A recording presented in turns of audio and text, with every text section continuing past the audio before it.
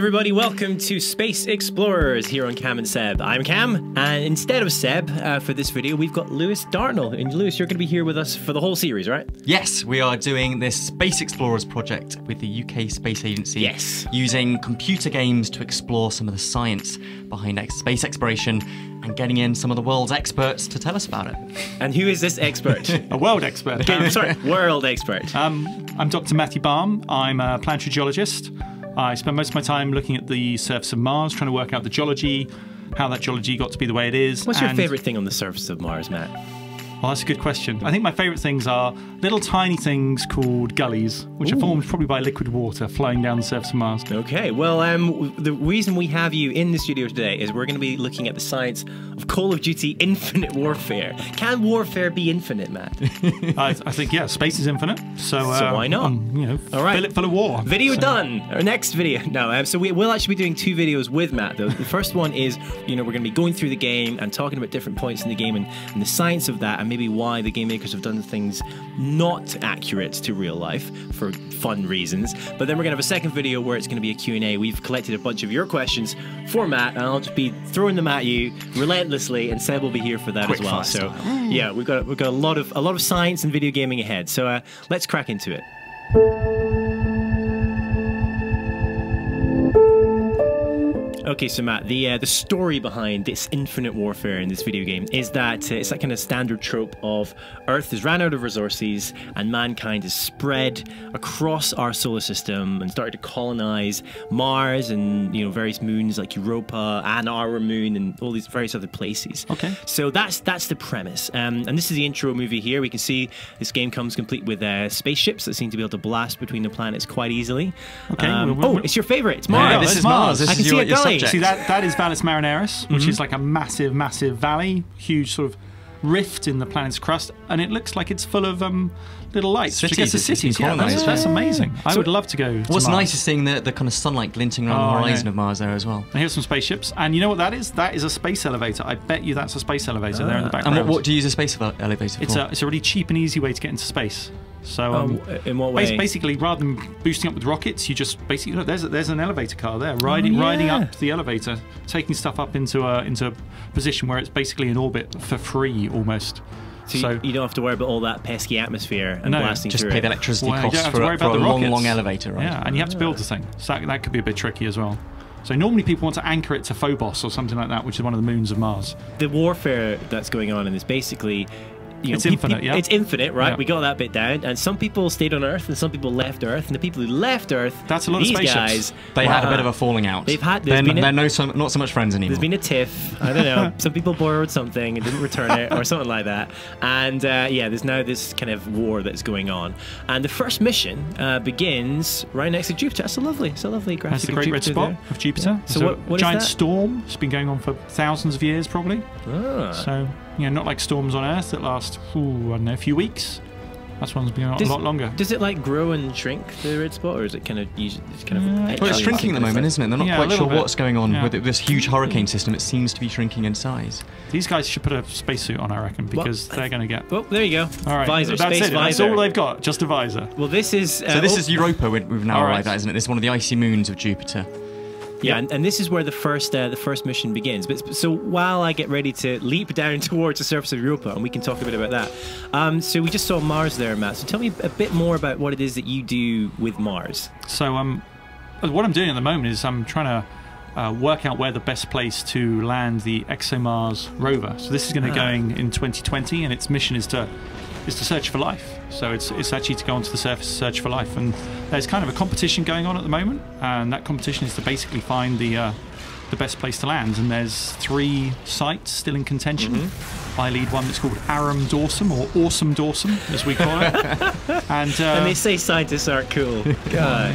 So I mean, you, you've been your your day job is literally to help map other worlds. You're, Yeah. you're kind of extraterrestrial cartographer, which, as far as I'm concerned, is about the best job description that, that I've ever heard. I brought you to Europa here. Oh, great. Um, so it's not Mars, I'm afraid, but uh, this is how uh, Call of Duty Infinite Warfare has, has given us Europa. So you can see, complete with ice. So Is this- icy surface, is which, which seems to make sense for ice. Europa. But I'm not so sure about the wind glowing and the kind of No, I- snowflakes in the air and the clouds. There's cloud. not This is, and really lightning, much of an certainly not. atmosphere on Europa, so that's a little unrealistic. But um, but you can see Jupiter, so you would definitely be able to see Jupiter. And, and very big in the sky because Yeah, Europa it orbits very closely Oh, yeah, to. you would be really close. It would be the most spectacular thing, actually.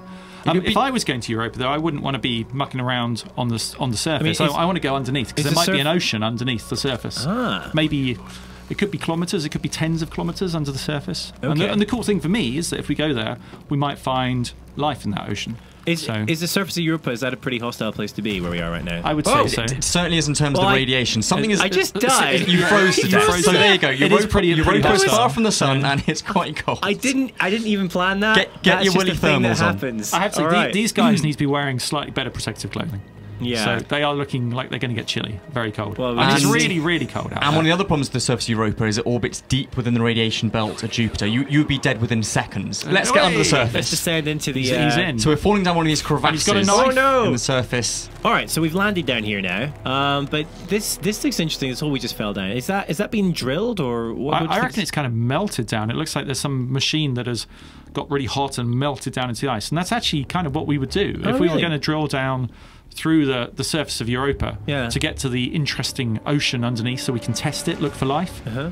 We'd have to we'd, you know, we'd have to melt our way down. We wouldn't be able to, to drill it. This is how uh, Oh, it's this pretty, is the isn't it? inside of Europa. It's Yeah. very pretty. I mean, it, it- and it is water ice on Europa. Is that correct? Yep. is- some, some of it's water ice, yeah. So because I think that's what, certainly what this looks like. The surface will be normal water ice, would be kind of ice one as we call it. Yeah. But depending on how deep that ocean is and how high the pressure gets to the bottom, people speculate about there being kind of exotic forms of ice on the seafloor and then some of Jupiter's other moons as well. yeah, it does it does depend on the pressure and the temperature. But Ah, and I can confirm, guys, you don't need to bother going to Europa. there is life on There is Europa, life, yeah. and it is soldiers with big guns. and like there's some layering in the ice. That that might be the sort of thing you might be able to see. So that's quite Yeah, pretty. layering in the And I mean, this is exactly the kind of thing you're looking for with, with the Mars rover, isn't it? You're looking Yeah, for exactly, layers yeah. of sediment, layers of, of, of strata in the rocks and what you can learn from them. Yeah, what, what we want to find on Mars is some really ancient uh, sedimentary rocks, so little tiny pieces of uh, silt or sand being washed there by water, and that's uh, that's a good environment for life. So And then with the ExoMars rover, try to drill down into them. We, we've got a, a two meter drill on board absolutely, ExoMars. yeah, that's, that's the thing that beneath the surface. differentiates ExoMars from the other rovers. It's got a, a drill two meters beneath the surface, so it gets away from the today's Martian environment, which is really hostile, not very good place to live. So if you can drill all the way down, two meters below the surface, that's about the point where you can, you know, start to, you know, look for signs of ancient life, things we call biomarkers, different chemical signatures Yeah. or physical signatures. All right, we've left Europa behind and we've skipped on a few missions. We're back on Earth and there's been a huge attack. Uh, this warfare really is infinite. But don't worry, because we have Ethan, who is a robot. Oh, friendly robot Um, soldier. what do you think of this guy? What? he, he appears to have monocular vision. He's only got one eye, but Terrible depth perception. Yeah, so- you but- need that when shooting things, actually, surely. Actually, it looks like he's got like a mirror there. So maybe it's like a, a lidar because we can. That's kind of a laser that scans. Uh-huh. You use the mirror to sort of scan these little dots really quickly. and you kind of use time the echo, don't you? It's almost like, right. like sonar, but with light. also, we- it's almost like a form of tra- of like uh, precision tracking. Yeah, of it builds up sort of a 3D model of uh, what's around you, and we, we actually use that in the field for, for scanning landscapes that we are going to compare with Mars. So Ethan is a bit like our He's a science terrestrial bot. yeah, lay, laser lay off him on his single eye. Yeah, he's, he's exactly. singing a little bit better than you are. I have to one say, he's, he's a lot heavier arms than our, our laser scanner. Yeah, you mean you, you haven't equipped yours with an automatic I- rifle? Yeah, I wouldn't want to go near near ours if it, if it, if it looked like that. Well, don't So- worry. Ethan's coming coming with us because we're gonna hop into our spacecraft here, and I, I want to get your impression on how we get into space here because you must think a lot about you know if, if you're thinking about mapping Mars and getting equipment to Mars, you must think a lot about getting through the Earth's atmosphere and how to do that best. It's it's expensive is the thing that we worry about most because Mm-hmm. um, you've got to get all that mass out of out of Earth's gravity, and that requires a lot of rocket fuel. Which itself has mass, which is kind of part of exactly the problem, yeah. isn't it? So uh, it's uh, it's really bad news trying to lift off out of Earth orbit. It looks like it's pretty bad news for some of these guys as well. They're They seem to really be labouring on their, on their rocket thrusters. There's aren't just been a So- huge attack, and I think we're about to chase these ones here. right, so, okay. um, so we're about to launch straight upwards, um, priming something called the Jackal, which I guess is our super duper engine, or maybe our rocket booster on the back. Oh, look, there they go. And ready to cool. launch? Let's go.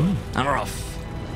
So you can see. So we've got, you've got the speed on the on the right hand side, exactly. haven't we? What's that? Seven thousand kilometers an hour. So you And need to be we- up to twenty-five thousand, I think, for escape That's, velocity. that's escape velocity. Is And it, we've right? also got the G. Wow, the Gs. we're getting.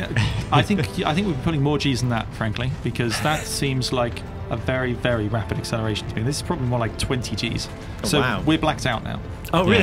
Yeah. oh no! So I think like fighter pilots can pull kind of eight nine Gs for very short periods of time with special suits on to, Yeah, to squeeze their squeeze their blood back up into their brain. so really, yeah. our vision should have narrowed to a point, and then we would have blacked out. Correct? Well, I, I Ah. reckon going to 40,000 kilometers an hour in about 10 seconds. That's pretty. That's pretty high. But And now you- we're in space. But did you all right. notice the uh, the boosters fell off the back of our ships here? Ah. So that's how that's where our fuel is coming from. There was a separate Okay. booster rocket. Well, that's and quite we're now at realistic. naught Gs. We're now essentially weightless. We're now uh, free floating in, in low Earth orbit. so d- does it take a lot longer to get through the atmosphere than that? 'Cause That seemed Yeah, quite quick. is- yeah, Couple that of seems really quick. Yeah, it's of the order of sort of six or seven Yeah. minutes, I think, maybe oh, even longer. missiles. Incoming missiles. coming. This is not That's good. bad. Yeah, So that's okay. Can't our, our robot guy take these out instead? well, robot guy, I don't know what he's doing. He's I'm, in the I'm- back making a cup of tea. I think, I think so. I'm doing everything. So basically, I'm going to try and shoot these guys down. But All right. I'm really. I was playing this earlier, and I was. There's a lot of explosion. Obviously, there's a lot of sound. So let's start with the big one.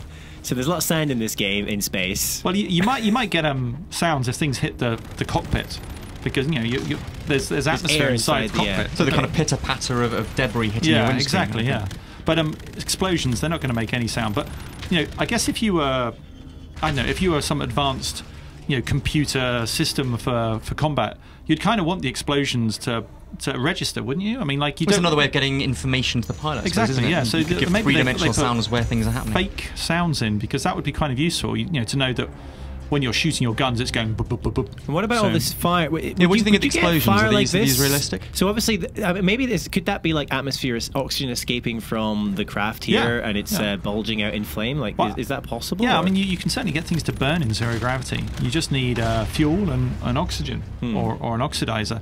So, you know, things can explode in space, but they just can't burn like they do on Earth. You can't really have fires because you, you need a lot of oxygen. So, if you've got a sort of a spout of oxygen gushing out of the inside of the uh, spacecraft, you could have fires burning from there. So, And what about these explosions when I'm very skillfully, I might Yeah, add, shooting down these pretty bad guys? It is on the easiest difficulty level.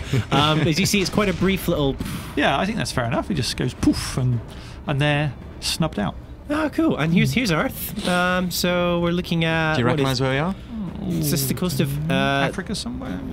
Y- uh, Oh no, is that yeah? That's North Africa. That's the Mediterranean. There's Gibraltar. You're aiming at Gibraltar. oh yeah, take that, Uh. Gibraltar.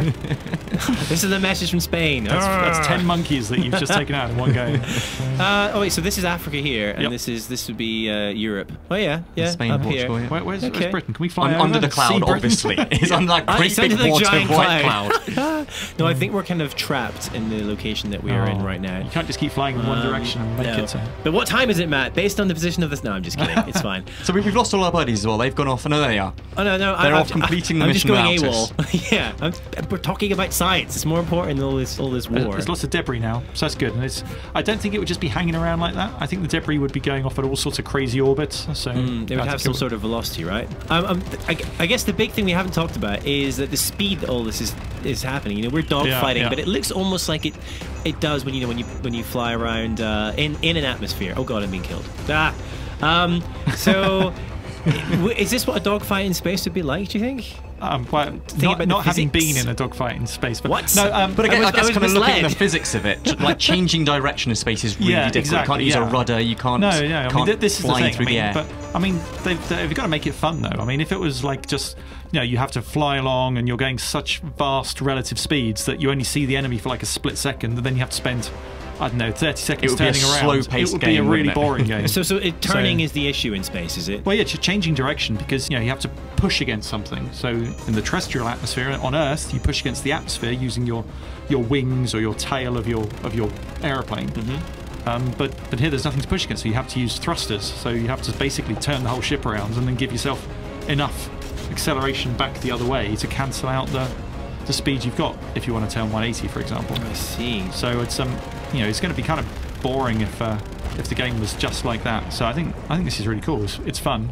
that was quite a That was glorious awesome. That was a explosion good from explosion. that capital ship going And up. things are But things things, are things should be going away, yeah. faster. Thing. I, Yeah. I think things should be whizzing past you and probably destroying you. Take, with the, uh, taking you out with a shotgun blast of the- yeah, the debris. exactly. If a bit of that Gotcha. hits you, you're done for, aren't you? So done for.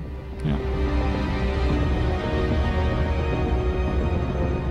Okay, so we blasted apart the fleet, and now we're going to land on a ship and do some. We're going uh, to board them.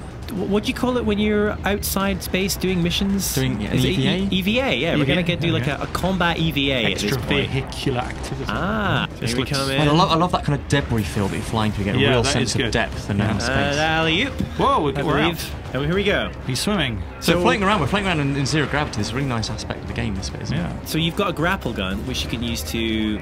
Oh, but it doesn't throw you backwards. It should throw you backwards when you fire it. I guess it does come with quite a lot of force, but If no. you if you fire your gun, do you start drifting backwards? Well, you'll you'll drift backwards slowly. So if you've Oh, got like a let's a machine gun and you keep pumping out, then you should Uh, go backwards a bit. yeah. doesn't seem to be. So You that's might- you that's might like an rotate a energy. bit as that's an energy weapon. This is definitely a machine gun. So let's fire Alright. this. Yeah. Are we? Are we? Well, I guess are we we're kind of we're booted onto the uh, onto the deck at the Well, moment. let's see. Let's see. we? Let's see if I can go. No, we're, No, we're he's floating. Let's see if I He's can go up. No, no, we're not really Doesn't going seem up. to be doing much. But the big So- thing here is we're, we're, we're firing bullets in space. Does that work?